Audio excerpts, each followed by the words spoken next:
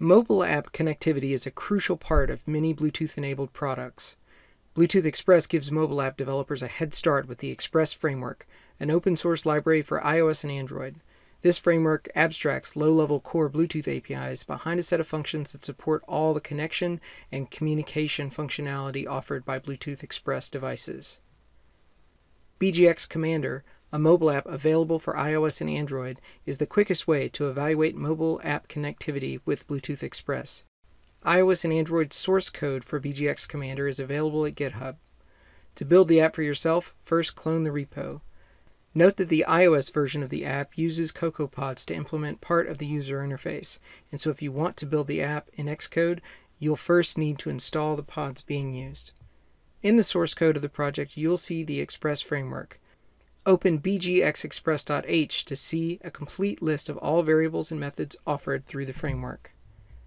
GitHub also includes two template projects, one for iOS and one for Android. These projects are fully configured to use the framework.